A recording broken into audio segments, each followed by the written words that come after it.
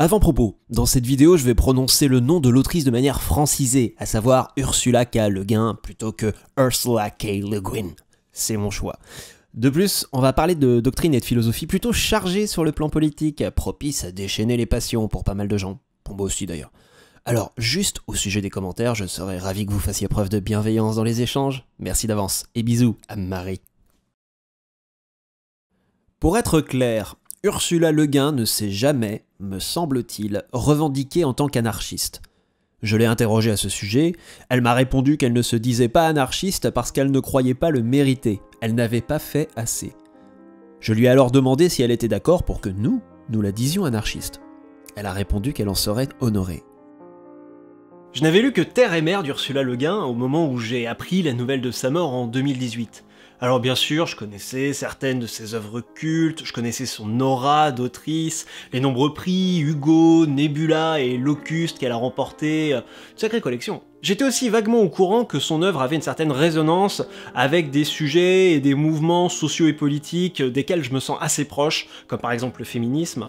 Euh, et j'avais senti aussi ce petit grain de philosophie qu'il y avait à la lecture de Terre et Mer. Terre et Mer qui est un cycle fantasy qui parle de thèmes comme le passage à l'âge adulte ou le voyage initiatique. Donc en 2018, j'ai su qu'on déplorait la perte d'une grande autrice de littérature science-fiction et fantasy. Je l'ai su il a fallu jusqu'à récemment, jusqu'à ce que je découvre d'autres œuvres d'Ursula Le Guin, pour que je le comprenne réellement, et que je le déplore, moi aussi, à mon tour. Parlons des dépossédés.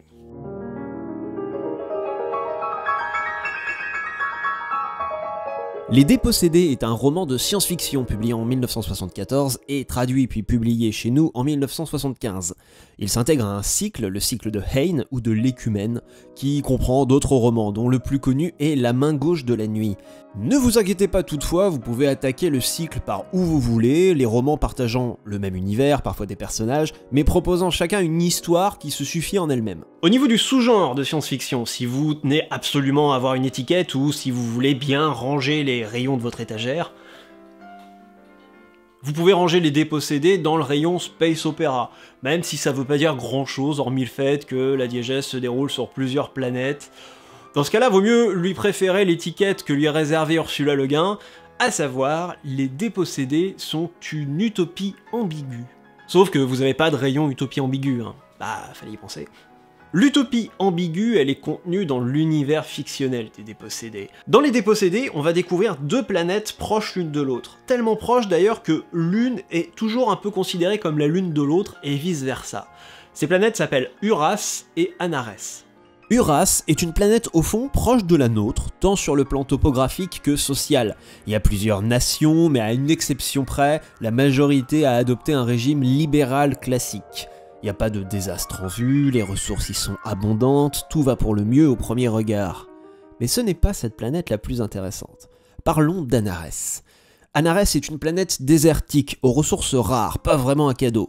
Sauf qu'à sa surface vivent des femmes et des hommes qui ont fui Uras, des révolutionnaires dotés de la volonté de fonder un autre type de société, une société anarchiste. Avant d'explorer plus en détail le fonctionnement de la société Aneresti, qui est quand même le truc le plus important du roman, on va quand même parler un peu de l'intrigue et du personnage principal, Chevek. Chevek est un brillant physicien anaresti, travaillant sur une théorie de l'espace et du temps qui serait à même de faire progresser significativement la physique générale.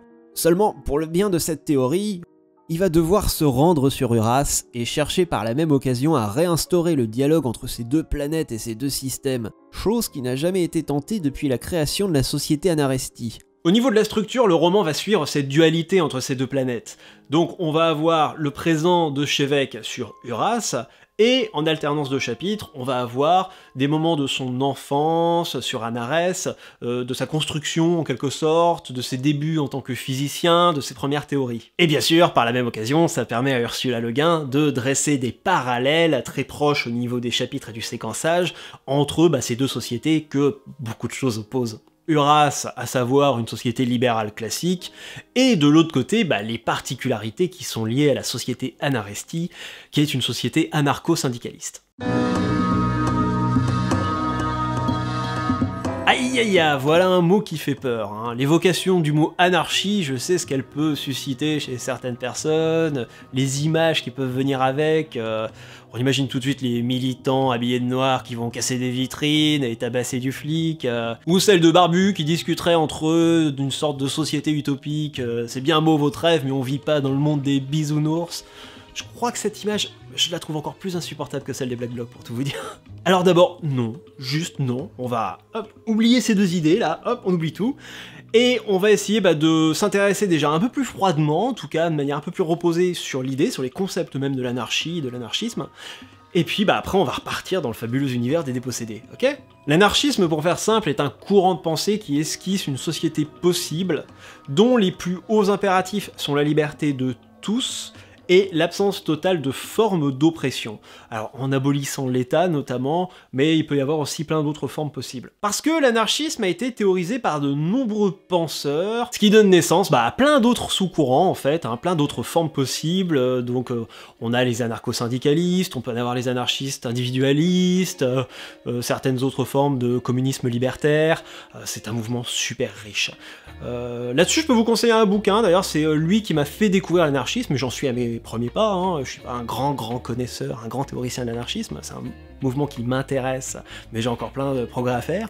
Euh, je vous conseille donc euh, l'anarchisme de Daniel Guérin, qui est un petit bouquin de 95-90 pages, un truc comme ça, qui va vraiment vous théoriser toutes les formes, tous les courants anarchistes, toutes les formes de pensée, euh, alors, des impératifs de liberté pour tous et d'absence d'autorité naissent bien sûr d'autres idées, d'autres concepts, comme par exemple un truc euh, qui fait frémir les libéraux, qui est euh, l'abolissement de la propriété privée. Mais ça aussi, c'est à géométrie variable, hein, selon les courants et selon les penseurs. Hein. Il y en a qui vont reconnaître la propriété d'usage, par exemple, en opposition à la propriété lucrative, euh, d'autres qui vont considérer, par exemple, qui vont théoriser la notion de possession contre la notion de propriété, qui est une forme d'oppression. Bref, c'est une philosophie riche, immensément foisonnante, comprendre bordélique dans le bon sens du terme, et qui a surtout ça de précieux que ça va vous faire repenser un peu le cadre, euh, douter de l'immuabilité de certains concepts qui sont présentés comme euh, le réel absolu, et euh, bah, ça va vous permettre de coller de coups de pied dans des zones de fausse évidence, de non-pensée. Et puis, bah, si vous savez pas ce que c'est que l'anarchisme et que vous voulez le découvrir par le biais de la fiction, tout en étant très bienveillant, eh bah dans ce cas-là, il y a les dépossédés qui vous tendent les bras. Hein. D'ailleurs, c'est de ça qu'on parlait, je crois. Bon, retour au bouquin. La société Anaresti a adopté un modèle qu'on peut définir comme anarcho-syndicaliste. C'est-à-dire qu'elle s'organise autour de coopératives de production, syndicats, de fédérations, toutes représentées par la coordination de la production et de la distribution, la CPD qui va... Coordonner la production et la distribution Non, se rassembler afin d'émettre un avis sur la coordination de la production et de la distribution. Bah oui, c'est une société anarcho-syndicaliste, pas du socialisme d'État ou un autre centralisme bizarre, euh, Staline et compagnie. Non, pas du tout. Absence d'autorité, vous vous souvenez? Donc bah, on s'inscrit sur des travaux librement selon les listes, alors des travaux spécialisés si on a une spécialité, ou même des travaux manuels, hein, euh, par exemple ramasser la merde, pelleter la merde, hein, euh, et tout le monde le fait, ça tourne. Tout comme les demeures et les habitations d'ailleurs, bah oui, bannissement de la propriété privée, donc bah, quand on va dans un coin, il y a forcément quelqu'un qui va tenir une liste des dortoirs disponibles ou des chambres disponibles, et puis on s'inscrit en fonction de ce qu'il y a, quoi, voilà. Absence d'argent, évidemment. Alors comment ça peut marcher? Parce que j'imagine déjà certains libéraux de l'autre côté de l'écran qui sont en train de faire de l'apnée. Eh ben, ça peut fonctionner avec des gens qui sont nés dedans, qui ont donc été éduqués, qui ont euh, commencé à construire des automatismes sociaux, même des automatismes langagiers, pour pouvoir vivre euh, et éprouver le bonheur dans une société où il y a une absence complète d'autorité. Et puis, euh, je le rappelle, hein, absence d'autorité, ça veut pas dire chaos, hein, ça veut pas dire absence d'ordre, hein, mais je pense que vous l'avez pigé depuis le temps qu'on parle de l'anarchisme. Et c'est là où Ursula Le Guin a fait, je trouve, un taf admirable. C'est à rendre cette société, cette utopie ambiguë, crédible, à s'interroger sur ce que ça change dans les individus, dans leur comportement de tous les jours, à s'interroger par exemple sur ce que ça peut changer dans le langage. Un petit exemple, l'adjectif possessif, montons son, matassa, nos voleurs. Qu'est-ce que ça peut donner dans une société où justement, bah, il y a une absence de propriété? Euh, et ben, dans le Pravik, qui est la langue que qu'ont créé les révolutionnaires odoniens, donc les révolutionnaires odoniens, ce sont ceux qui ont justement conçu cette société sur un et ben, dans le Pravik, euh, les adjectifs possessifs n'existent pas. Donc on va dire le mouchoir que j'utilise plutôt que mon mouchoir, par exemple. Voilà, les adjectifs possessifs ne font pas sens pour euh, les, euh, les, gens qui vivent sur Anares. Et puis il y a plein d'autres choses sur le plan social, par exemple quand un individu commence à prendre le dessus sur les autres, commence à cannibaliser la liberté d'autrui, euh, parce qu'un anarchiste se bat pas pour sa propre liberté, hein, il se bat pour la liberté d'autrui. Quand un individu commence à, hélas, cannibaliser un peu, à prendre un peu le dessus, on dit qu'il légotise. L'absence d'autorité va aussi se nicher bah, dans l'intimité hein, de la vie des individus, euh, par exemple dans la sphère parentale, et eh ben il n'y a pas d'autorité parentale non plus. On reconnaît donc le principe de géniteur, euh, mais euh, l'enfant ne doit pas obéissance à son parent. D'ailleurs, on utilise les termes le père, la mère, et non pas mon père, ma mère. Donc on a le droit aussi à se revendiquer en quelque sorte des parents spirituels qui ne sont pas les géniteurs. et donc voilà, l'enfant ne doit pas obéissance. L'enfant est un individu, et l'obéissance parentale est considérée sur un ARS euh, bah, comme une forme d'oppression. Pareil pour les liaisons amoureuses, où euh, bah, là, il n'y a pas non plus de notion comme mon mari ou ma femme, hein, euh, il n'y a pas de rapport ni de propriété, ni d'obéissance à une forme d'autorité. Alors déjà, rien que ça, bah, ça pourrait faire un super bon bouquin après tout. Euh, c'est pas tous les jours qu'on a une société fictionnelle basée sur les travaux de penseurs anarchistes, hein, c'est plutôt rare. Et si tout ce dont on vient de parler à l'instant, ça titille déjà votre curiosité, vous voulez savoir comment ça peut fonctionner, eh ben allez-y parce que vous allez vous régaler dans ce bouquin. Hein. C'est ça moi qui m'a donné envie d'ailleurs de me plonger dans la lecture. Euh, mais ça ne s'arrête pas là. Déjà, il y a le traitement de la société d'Anares, euh, parce que plutôt que de nous brosser euh, une utopie euh, à grand renfort de termes mélioratifs, ou de nous coller de la pensée de philosophe à la Deleuze, comme par exemple pourrait faire Damasio, Ursula Le Guin est beaucoup plus fine que ça.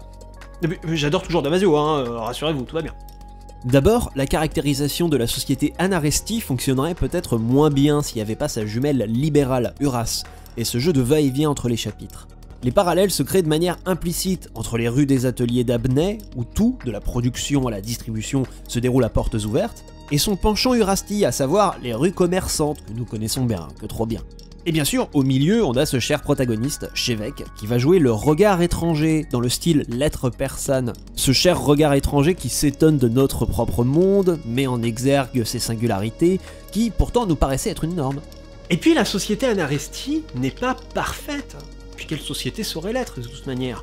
Alors bien sûr, il y a des imperfections, il y a des moments euh, un peu durs à vivre sur cette planète qui viennent de la nature même. Hein. Euh, c'est une planète aride, un foutu caillou, dans lequel quelques incidents ou quelques problèmes météorologiques peuvent vite se transformer en une famine généralisée. Mais ça, à la rigueur, le système saurait s'en accommoder. Non, mais il y a aussi d'autres soucis dans la société anarestive bah, qui viennent de ces individus, hein, avec certains individus qui sont bah, voilà, un peu plus égoïstes que d'autres, avec certains qui ont essayé de tirer un peu la couverture, euh, qui vont être un peu démagogues, qui vont essayer de, ouais, de s'assurer une forme de pouvoir, même dans un monde sans autorité, c'est bien sûr possible.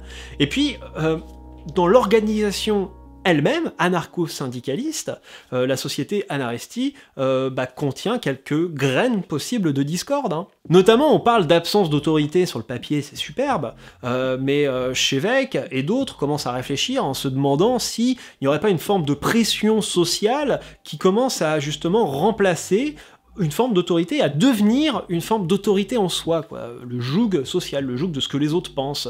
Alors bien sûr, on a la, euh, CPD euh, qui donne un avis à titre consultatif, mais en fait, on se rend compte que euh, ouais, c'est pas si consultatif que ça. Ça, devient de plus en plus un peu une, forme d'ordre. Donc c'est une forme d'autorité bah, qu'il faut combattre toujours. Donc la société anarchiste est toujours en combat pour viser l'horizon anarchiste. Et c'est aussi de ça que parlent les dépossédés, hein. c'est aussi s'intéresser euh, sur le chemin. Voilà, Ursula Le Guin s'intéresse beaucoup généralement d'ailleurs au chemin, cette idée de chemin. L'anarchie est l'idéal qui pourrait même ne jamais se réaliser, de même qu'on n'atteint jamais la ligne de l'horizon qui s'éloigne au fur et à mesure qu'on avance vers elle. L'anarchisme est une méthode de vie et de lutte, et doit être pratiquée aujourd'hui et toujours par les anarchistes dans la limite des possibilités qui varient selon les temps et les circonstances. Il ne s'agit pas de faire l'anarchie aujourd'hui, demain ou dans dix siècles, mais d'avancer vers l'anarchie aujourd'hui, demain, toujours.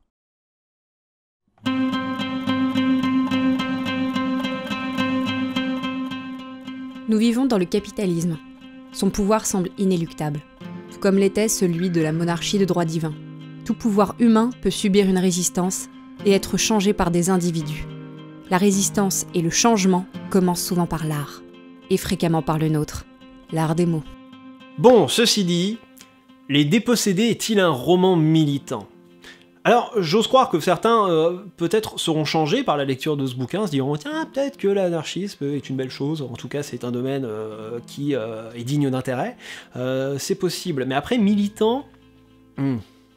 Je pense qu'il est utile de rappeler que ce roman est né, a été publié dans une période un peu particulière, qui est celle de la guerre froide. Alors évidemment, il y a eu plusieurs critiques, blogueurs et universitaires, euh, qui se sont penchés donc sur cette lecture possible, euh, à essayer de chercher des analogies entre bah, Uras, Anares et puis notre monde à l'époque de la guerre froide. Euh, et il y a eu des universitaires qui ont pondu un papier, enfin un, un, universitaire qui a pondu un papier en disant que Anares pouvait représenter un peu l'URSS et que Ursula Le essayait de réhabiliter l'URSS à l'époque de la guerre froide. Je suis pas certain, hein, peut-être. On va voir si l'URSS a aboli l'État, et je crois pas. À la rigueur, si on cherche un parallèle avec l'URSS dans le bouquin, ça serait plutôt la nation de Tu, ou Tout, euh, qui elle, ouais voilà, a un fonctionnement communiste, certes, mais centralisé. Mais est-ce que toutes ces divagations politiques, est-ce que c'est vraiment bien le centre du roman? Est-ce que c'est son but, si tant est qu'un roman puisse avoir un but? Euh, Alors, les dépossédés, critique du capitalisme, apologie de l'anarchisme les moments qui m'ont le plus transporté dans la lecture des dépossédés sont pas euh, les moments qui ont titillé l'intellect. Donc pas tout ce qui concerne le fonctionnement d'une société anarchiste et compagnie. C'est sympa, mais euh, c'est pas ça qui m'a fait vibrer durant la lecture. Au contraire, ce sont plutôt les moments à focale resserrée sur Chévec, ses sentiments et son entourage qui vraiment m'ont euh, collé les frissons. Ce sont ces moments où surgit la souffrance, où surgit aussi l'amour, et ce aussi bien sur Uras que sur Anares. Que ce soit ce dernier souffle d'un frère de lutte sur Uras, agonisant sous les balles de la répression, ou bien l'amour qui lie Chévec à Tagver, aux enfants à qui ils ont donné naissance, qui les poussent eux, et aussi leurs amis vers la fin du roman, à réfléchir sur la notion même des liens. Je crois que le propos des dépossédés est plus philosophique, et qu'il est à chercher plutôt du côté du personnage de Chévec. Sa quête, si on réfléchit bien, et pour celles et ceux qui l'ont lu, est celle d'abolir les murs, ces foutus murs qui nous séparent, renferment, oppressent. Peut-être en reste-t-il moins à abattre sur Anares que sur Uras. Cela semble être l'hypothèse qu'Ursula Le Guin semble défendre, que l'anarchisme nous rapproche un peu plus de l'idéal fraternel, nous solidifie, au point de pouvoir vivre même sur ce caillou de merde qu'est Anares. Mais même sur Anares, il en reste des murs. C'est pas pour rien que le roman s'ouvre d'ailleurs sur bah, des murs. Et c'est le boulot de Chévec hein, de les abattre, donc euh, que ça soit par le biais de sa théorie de physique, par le biais de son voyage fou, euh, bah, il va devoir faire le boulot que l'humanité va devoir faire, d'abattre ces foutus murs. Ouais bon, parler d'abolir les murs en pleine période de confinement, c'est une drôle de conclusion, hein. on peut dire que c'est un peu l'esprit de contradiction, mais voilà aussi une facette de la SF dont on n'avait pour l'instant pas parlé hein, euh, sur toutes les vidéos qu'on vient de faire. Abolir les murs, ouais, voilà, c'est une idée assez intéressante j'ai pas grand chose à dire de plus sur le bouquin. Euh, je pense d'ailleurs que euh, je vais conclure en lisant une ou deux pages, euh, chose que j'ai jamais faite avant, mais je pense qu'elle restitue bien l'essence du, du, bouquin, l'esprit, et qu'elle fera une parfaite conclusion. Allez, prenez soin de vous. Salut. C'est notre souffrance qui nous réunit, ce n'est pas l'amour. L'amour n'obéit pas à l'esprit et se transforme en haine quand on le force. Le lien qui nous attache est au-delà du choix. Nous sommes frères. Nous sommes frères dans ce que nous partageons. Dans la douleur que chacun d'entre nous doit supporter seul, dans la faim, dans la pauvreté, dans l'espoir. Nous connaissons notre fraternité. Nous la connaissons parce que nous avons dû l'apprendre. Nous savons qu'il n'y a pas d'autre aide pour nous que l'aide mutuelle, qu'aucune main ne nous sauvera si nous ne tendons pas la main nous-mêmes. Et la main que vous tendez est vide, comme la mienne. Vous n'avez rien, vous ne possédez rien. Vous êtes libre.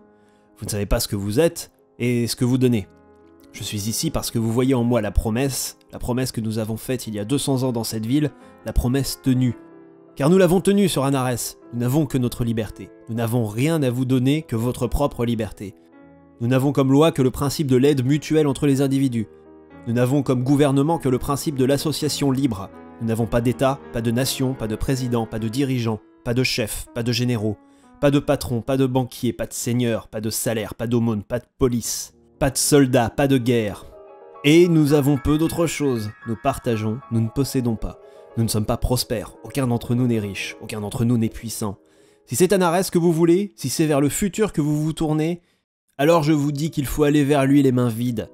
Vous devez y aller seul et nu, comme l'enfant qui vient au monde, qui entre dans son propre futur sans aucun passé, sans rien posséder, dont la vie dépend entièrement des autres gens. Vous ne pouvez pas prendre ce que vous n'avez pas donné, et c'est vous-même que vous devez donner. Vous ne pouvez pas acheter la révolution, vous ne pouvez pas faire la révolution, vous pouvez seulement être la révolution. Elle est dans votre esprit, ou bien elle n'est nulle part.